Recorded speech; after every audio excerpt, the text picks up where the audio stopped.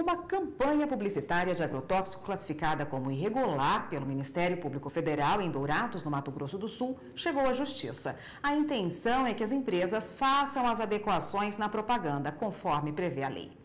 A lei que regula a publicidade de produtos fumígeros, bebidas alcoólicas, medicamentos, terapias e defensivos agrícolas é clara quanto à exigência das informações e dos locais permitidos para divulgação. O artigo 8 da Lei 9294 de 96 diz que a propaganda de defensivos agrícolas que contenham produtos de efeito tóxico, mediato ou imediato para o ser humano deverá restringir-se a programas e publicações dirigidas aos agricultores e pecuaristas, contendo completo completa explicação sobre a sua aplicação, precauções no emprego, consumo ou utilização. E é o cumprimento da lei que o MPF em Dourados, no Mato Grosso do Sul, está cobrando na Justiça Federal das empresas envolvidas e também da Agência Nacional de Vigilância Sanitária, a Anvisa. Essa ação, ela visa tanto a remoção da propaganda existente, é, tanto em outdoors quanto na internet, bem como a consequente indenização é, pelos danos é, ocasionados por essa propaganda. Como as placas ficam expostas em locais públicos,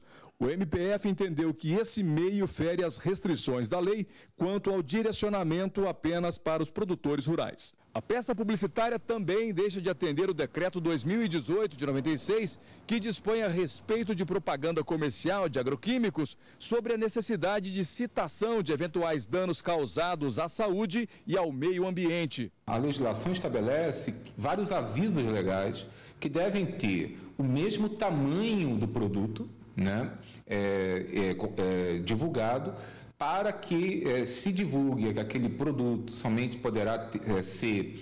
comercializado mediante receituário agronômico, mediante